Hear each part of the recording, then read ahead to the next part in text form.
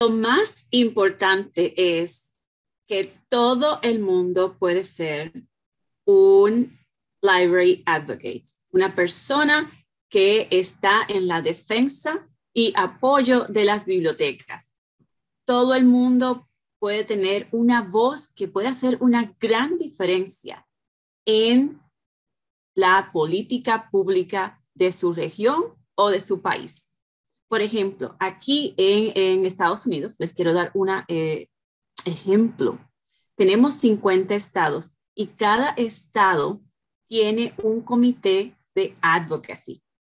Y entonces, cada año se reúnen todos delegados de todos los 50 estados en Washington, D.C. para lo que se llama el National Library Legislative Day, el Día Nacional de la Legislación por las bibliotecas.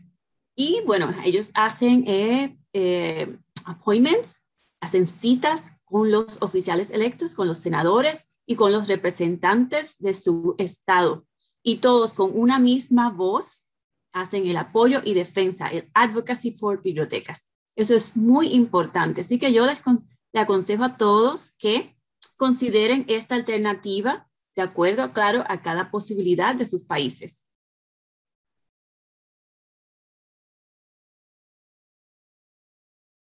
Muy grande es mantener a las personas que están haciendo el apoyo y defensa por bibliotecas eh, que estén entusiasmadas y que continúen haciendo este trabajo, porque muchas veces se desaniman. Es un trabajo que puede ser un poco largo y también puede ser un poco lento, pero ese es el mayor reto.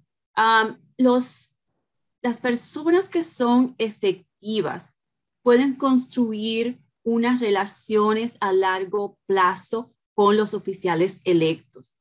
Y eso requiere de tiempo y esfuerzo. Eh, toma mucho más que asistir a una reunión una vez al año y bueno, y enviar algunos emails también una vez al año. También quiere decir que las personas tienen que hablar con una sola voz para pedir acerca de las condiciones y las necesidades de las bibliotecas. Y a veces, pues todos queremos pedir por diferentes cosas. Así que bueno, hay que ponerse de acuerdo. Pero esos son hasta ahora uno de los retos que yo he visto en mi eh, quehacer mundialmente.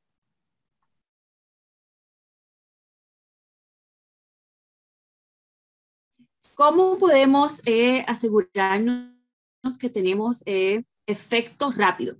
Bueno, una manera de tener efecto rápido en el área de apoyo y defensa de bibliotecas, advocacy, es escribiendo cartas al editor de un periódico. Todo el mundo puede hacer eso y esperemos que la suya sea elegida. Aquí tenemos mucho éxito y todo el mundo lo puede hacer. A otra, otra manera en la que podemos ser muy efectivos ayudando a, los que están haciendo advocacy, apoyo y defensa de bibliotecas, es, por ejemplo, coordinando citas con los oficiales electos. Esta es una tarea que puede ser mucho tiempo, puede tomar mucho tiempo y alguien debe de hacerla. Así que usted puede contribuir. Además, por ejemplo, si tienen que eh, llevarlos en sus autos a algunos lugares, también puede ser una manera de contribuir a hacer apoyo y defensa de bibliotecas muy rápido. Todo el mundo tiene un papel, ¿verdad? Un rol que desempeñar y estas pueden ser los suyos.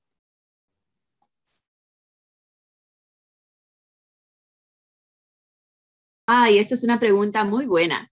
Ah, mi región es una región donde tenemos bibliotecas que son multiculturales y multilingüales, ¿verdad? que hablamos muchos idiomas. Y yo soy muy afortunada porque las bibliotecas también eh, le dan la bienvenida a las personas que son multiculturales y que hablan diferentes idiomas. Por ejemplo, yo soy de Puerto Rico y soy del Caribe, ah, pero también soy ciudadana americana. Como saben, Puerto Rico está en una condición muy especial que eh, pocos, muy pocos eh, países en el mundo entero están. Por ejemplo, las Naciones Unidas eh, no nos consideran un país, pero sí podemos eh, participar en las Olimpiadas como país y, también en Miss Universe como país.